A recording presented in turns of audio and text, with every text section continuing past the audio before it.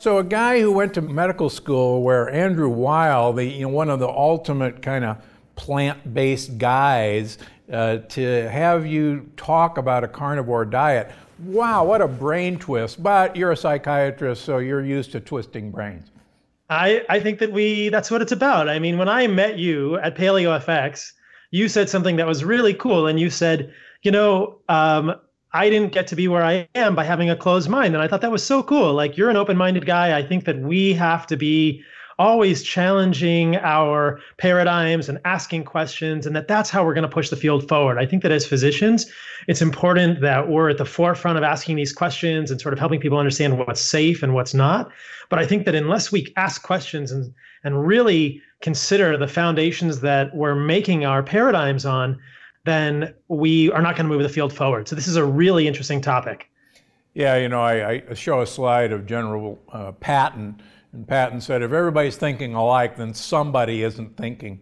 Uh, mm-hmm. And I totally agree with that. Okay, so define a carnivore diet for me. A carnivore diet is essentially a whole foods animal based diet. It includes no plant material. So we're eating I would argue like our ancestors would eat. If you're in the savannah or you're in Europe and you're hunting and you kill a deer or a buffalo, carnivore diet is eating animals nose to tail. There's no plant material in a carnivore diet for the reasons that we will talk about, the plant toxins. So all of the animals, so muscle meat, organs, connective tissue, bones, brain, it also includes all animals. So fish, shellfish, you know, things like this, birds, but no plant material on a carnivore diet. Eggs? Eggs, yes. So, what made you decide to try a carnivore diet? So, I got interested in the carnivore diet about a year ago, and it had to do with my training and the fact that perhaps you've experienced the same thing, but throughout the, you know, 14, 15 years that I've been in medicine now, I've generally been disappointed in what I've seen in terms of patients getting well and being able to correct their disease at the root. And so as people will know, or maybe not, functional medicine is a type of medicine that starts to ask questions around the why and the why behind the why, and really trying to get to the root cause of an illness. And so, what interested me about medicine was what was causing disease. And that's what I've been sort of obsessed with throughout my career. That was why I went back to medical school after I'd been practicing as a PA in cardiology. And that's why I started to look into integrative medicine and trained with Andrew Weil and then got interested in functional medicine. And what I basically realized was that mainstream Western medicine is not great at asking questions around what is causing an illness and what's at the root. And so that has been my constant process is what is at the root? What is at the root? And I just haven't been able to understand what that is until I started thinking about diet. And so I've been thinking about diet for a number of years now. And, you know, I think that food is such a huge contributor to health and disease, perhaps one of the biggest. It's not the only thing, but it's a big one. We put a huge amount of food in our bodies every day, kilogram quantities of food into our bodies. That's all molecular signals that affect the immune system, that affect us at a biochemical level. They're full of nutrients and anti nutrients, all kinds of things. And so it's been this sort of gradual evolution trying to understand how humans were best evolved to eat, how humans were best adapted to eat in the in the introduction you said that the carnivore diet's been around for 150 years.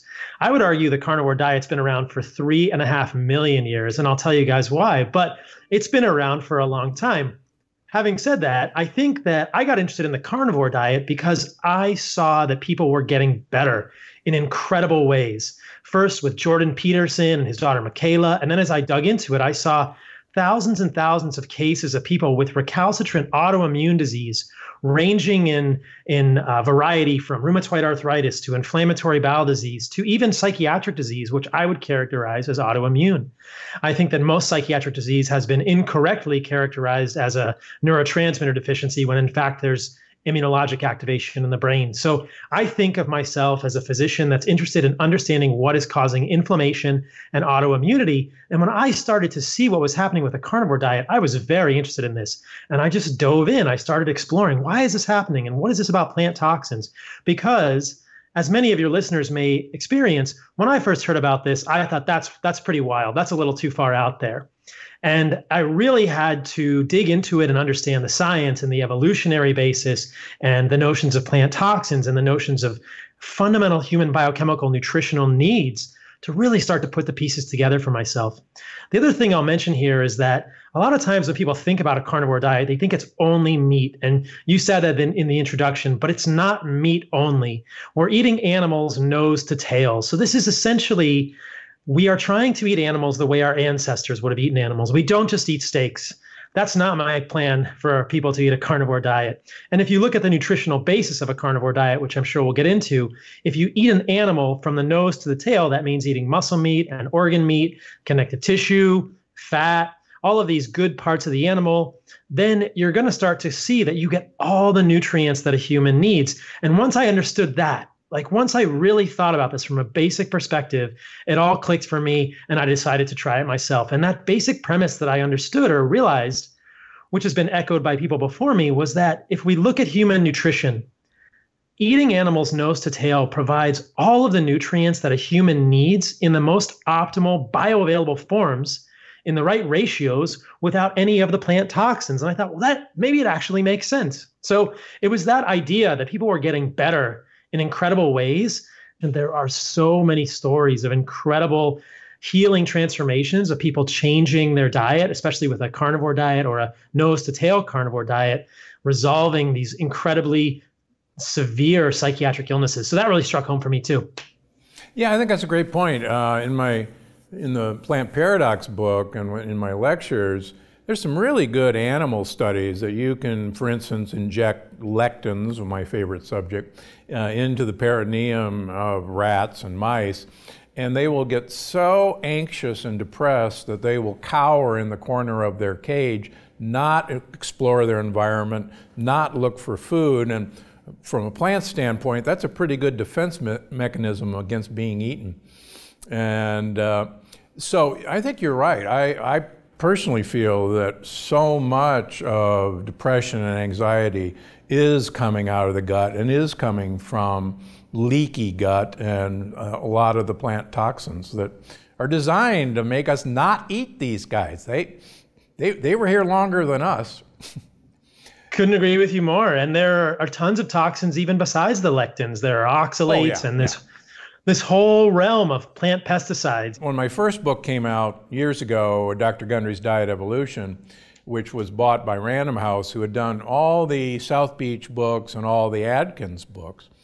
And in the, in the first part of that program was actually a high protein diet.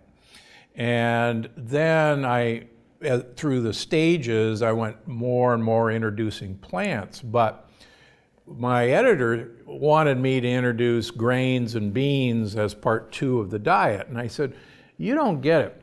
Both Atkins and South Beach took away all these carbohydrates. And then in, in phase one, and then they reintroduced them. And then everybody gained weight and all their symptoms came back. And what did they say to do? Oh, well, go back to phase one and eliminate all these carbohydrates again. And I said, Don't you get it? It was these plant materials that they were putting back in that was causing the problem in the first place. So, I mean, the Banting diet took away carbohydrates. Um, you know, the Atkins diet took away. Eh, eh, all of these diets took away carbohydrates. My contention is that they were taking away the major plant defense carbohydrates out of their system. And I think one of the things that you and I, just from the start, so that we remain friends, is, is I mean, this is the ultimate elimination diet, in in my opinion. Now, the ultimate elimination diet is stop eating, uh, which is actually very effective, but it is the ultimate elimination diet. You are getting rid of all these plant toxins. Now, this is a good step off so you're not saying that you can go out and eat factory raised meat, factory raised pork, and have a wonderful time. I hope you're not saying that. No, that's not my intention to promote that. I think that the quality of the food we are eating and the ethics which with with which the animals that we're eating are treated are very important. And so I'm an advocate for eating grass fed, pasture raised meats that are organic, the best meats that people can afford.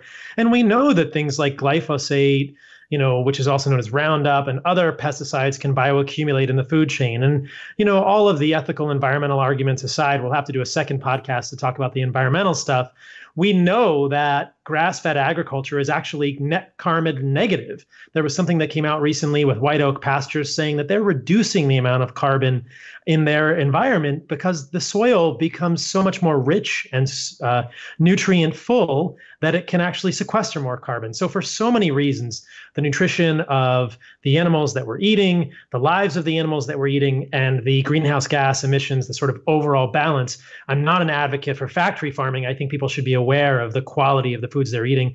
I think glyphosate is a big deal. We can't ignore the fact that grain fed animals are probably going to bioaccumulate that in the grains they're eating.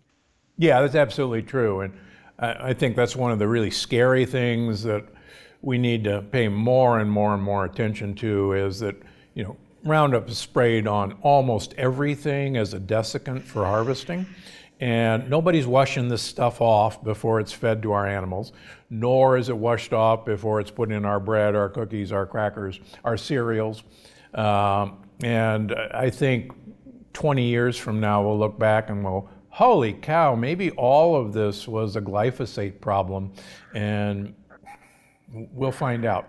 At least a big portion of it is. I mean, I saw posted on social media today that in these sort of plant based burgers, these impossible burgers, have like 11 times the amount of glyphosate of some of you know some of these other you know like other plant-based burgers so there are certain plant-based burgers that are particularly just riddled with these pesticides so people shouldn't think that you know like by eating fake meat they're going to avoid this either so no, that's true. And in fact, you know, one of the burgers I won't mention recently changed their formula to, to get rid of gluten containing foods. Imagine that a healthy plant based burger that had gluten. It's like, really? all of them, they're all bad in my opinion. Yeah. So many of them are based on pea protein, which I think oh. you and I would probably agree would not be high on our list of uh, plant material to consume. So many lectins. Yeah. No good. I totally agree with you. See, there is commonality here. there is commonality.